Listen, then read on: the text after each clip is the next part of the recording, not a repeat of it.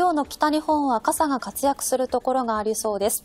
内藤さん朝からこの先時間が経った後も少し傘が出番となるところ増えそうでしょうか？そうですね。はい。あのすでに降っているところもありますが、まあ、日中もね晴れ間が出てもまた降りやすくなるということで結構変わりやすくなりそうです、はい、はい、北日本の状況をご覧ください。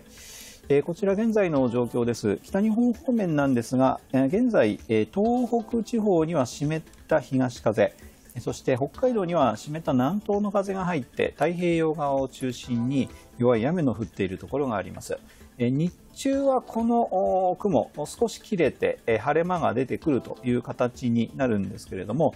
えー、日本海の沿岸海上にはですね、えー、スケールの小さな前線シアラインが伸びていてこれがだんだんと東の方へと移ってきます。えー、午後はですね内陸山沿いで、えーまあ、気温の上昇などの影響もあってゲリラ的なあ積乱雲の発生小規模な積乱雲の発生があるんですけれども、えー、このシアラインがあ次第に通過していく影響で夜になりますと特に北海道や東北北部を中心に雨雲の範囲が拡大傾向ということになりそうです。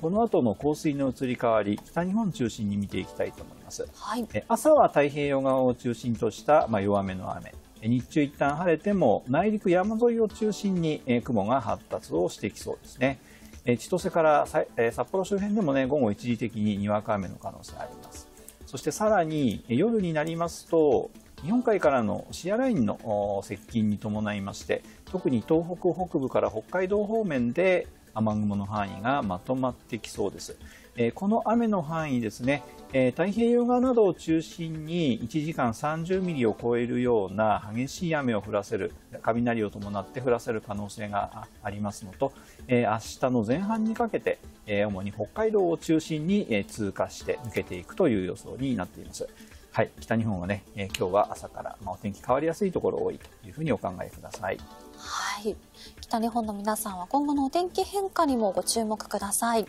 最新の気象情報、雨雲の動向についてもお天気アプリウェザーニュースからぜひご確認ください。